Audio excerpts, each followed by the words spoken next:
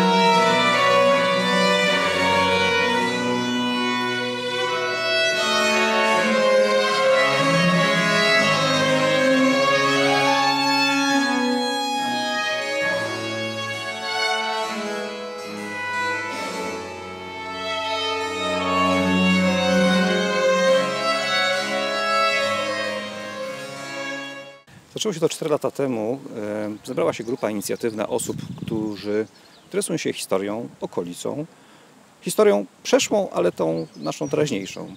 Postanowią założyć e, stowarzyszenie, które będzie działało na rzecz popularyzacji historii, e, aktywizacji również bieżącej takich mieszkańców tutaj naszego regionu. Przez te 4 lata mamy na koncie sporo sukcesów. Stoimy przed kościołem, gdzie dzisiaj odbędzie się koncert.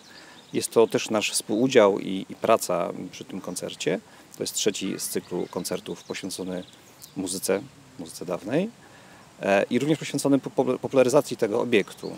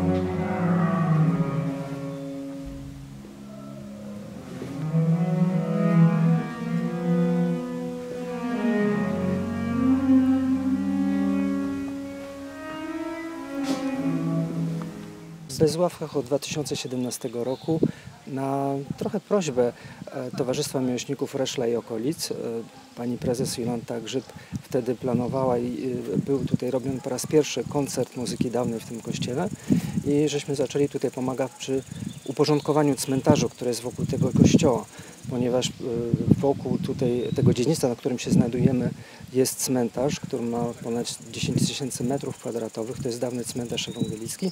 Tu, gdzie stoimy, również są nagrobki. Tutaj były chowane na dziedzińcu te rodziny najbardziej dostojnej tej okolicy.